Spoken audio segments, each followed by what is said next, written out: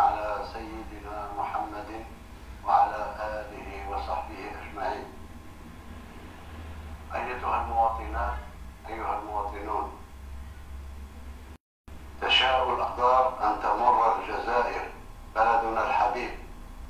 هذه الأيام بمحنة أخرى يحملها وباء فيروس كورونا المستجد العالمي الآخذ في التفشي في الكثير من بلدان العالم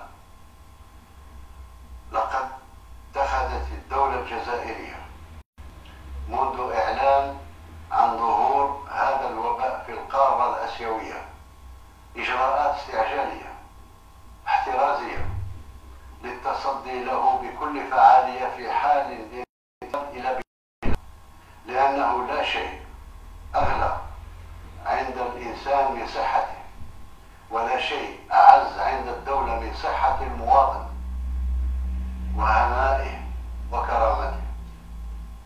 إن هذا التحرك المبكر ساعد على اشتعال أجنبية قادمة من أوروبا مصابة بهذا الوباء منذ شهر.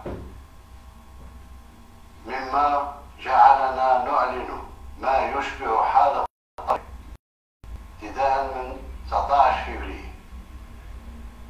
جميع المؤسسات والوحدات الاستشفائية لتجنب الانتشار كما حدث في بلدان أوروبية أكثر منا تجربة وقدرة على المواجهة.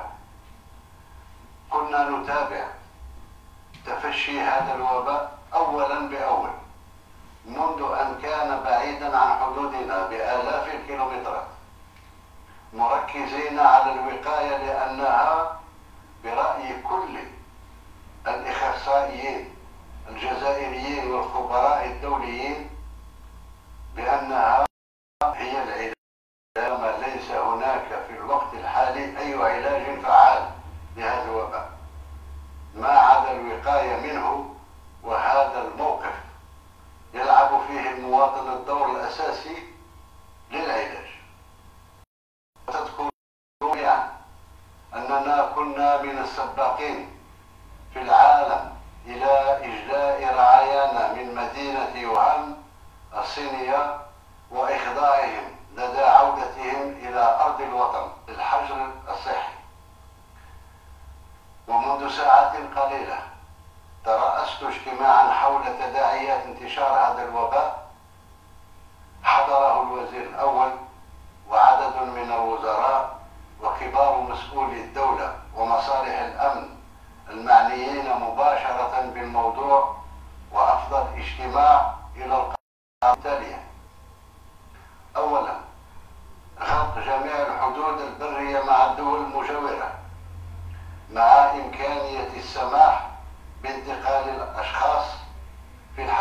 الحالات الاستثنائية بعد الاتفاق مع حكومات البلدان المعنية.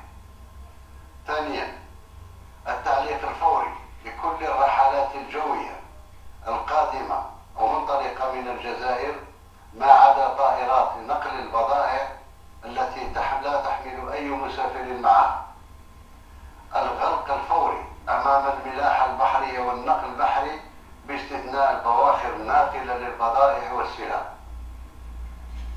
التعقيم الفوري لجميع وسائل النقل العمومي للولايات وعبر الوطن ومحطات نقل المسافرين. خامسا منع التجمع سيرة تحت أي عنوان كانت في مكان يشتبه فيه بأنه بؤرة للوباء. منع تصدير أي منتوج استراتيجي. سواء كان طبيا أو غذائيا إلى أن تفرج الأزمة وذلك حفاظا على المخزون الاستراتيجي الوطني. سابعا تعليق صلاة الجمعة والجماعة في المساجد وغلق المساجد استجابة لطلب لجنة الإفتاء بعد مصادقة كبار شيوخنا وعلماء الأمة الجزائرية محاربة وفتح المضاربين عديمي الضمائر الذين لا يستحون من استغلال فزع المواطن لإخفاء لإخفاء المواد الأساسية قصد إحداث الندرة ورفع أسعارها.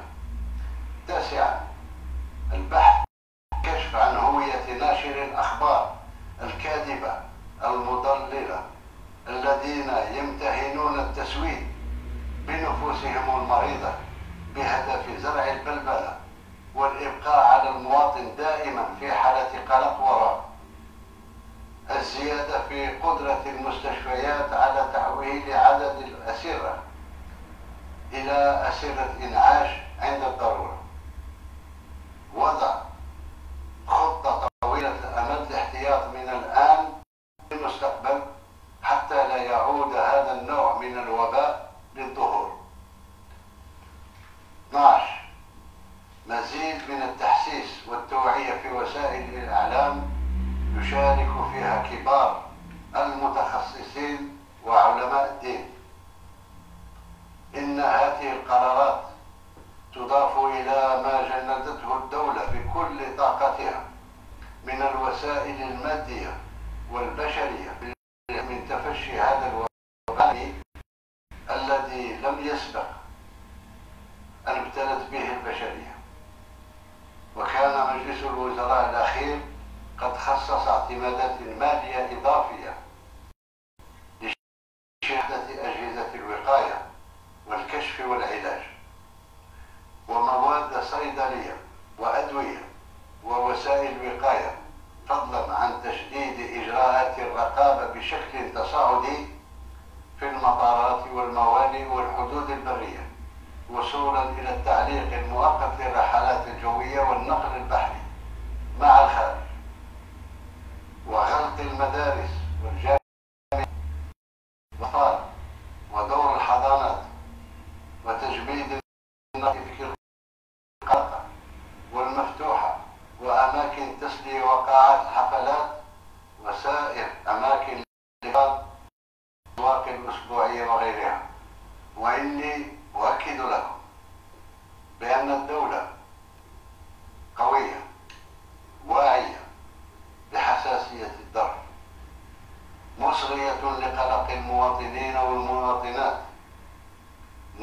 منشغلة بهمومهم بل إنها وبقدر ما هي حريصة على احترام الحريات والحقوق بقدر ما هي مسؤولة عن حماية والممتلكات بما فيها توفير الحماية الصحية والرعاية الطبية للمواطنين والمواطنات واعتبار الوباء المتفشى مسألة أمن وطني وأمن صحي تهم الجميع حتى لو أدى الأمر إلى تقييد بعض الحريات مؤقتا فحياة المواطن والمواطنة فوق كل اعتبار وقبل كل شيء أيتها المواطنات أيها المواطنون لقد وعدتكم بالصراحة وقول الحقيقة وأنا أصارحكم فأحمد الله الذي المخلصين من إطارات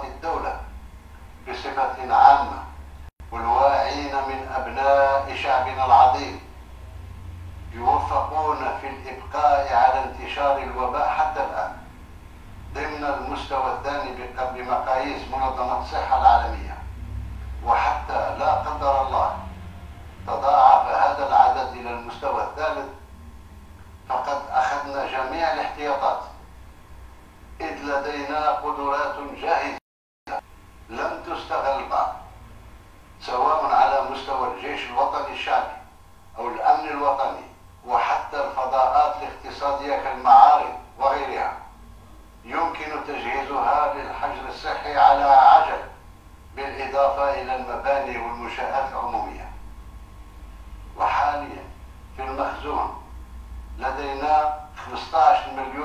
500 ألف من كل أنواع الأقنعة ويجري اقتناء 54 مليون قناع إضافي. لدينا 6000 أداة كيماوية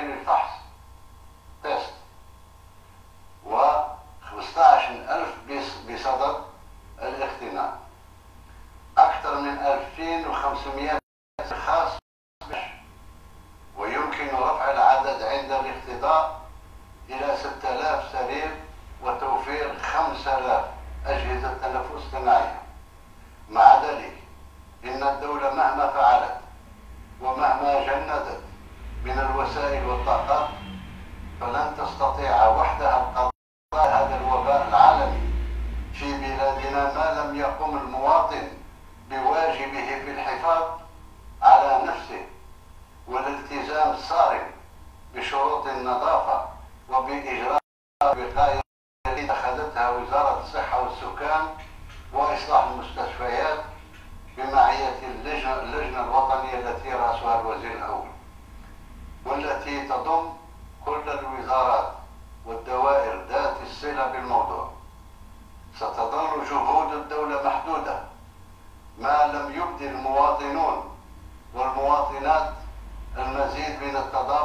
والانضباط والتفاهم وخاصة للتبليغ عن حالات الإصابة حتى لا يتسبب عدم التبليغ في إيذاء الأقارب أو عابر السبيل في الشارع.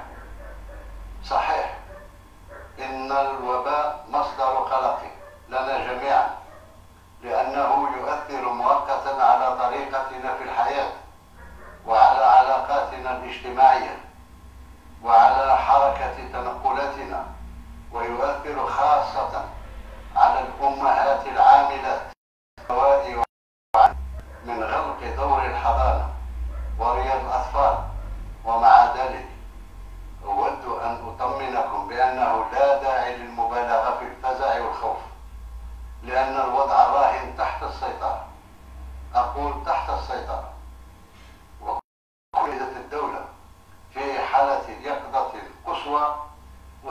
পারে না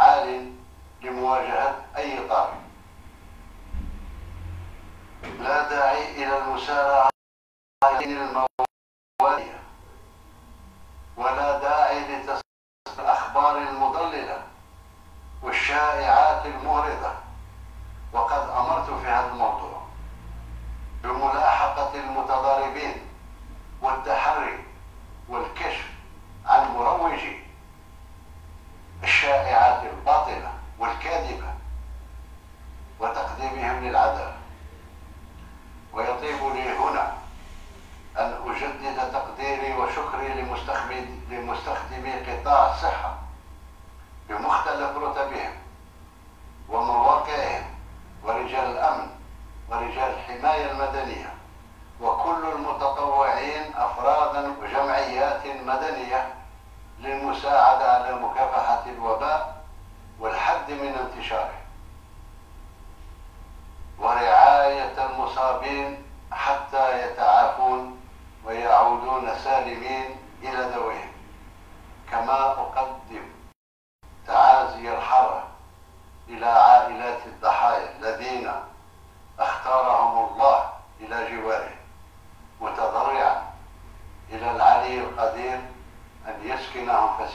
جنانه وأتمنى الشفاء العاجل للمصابين الذين غادر نصفهم.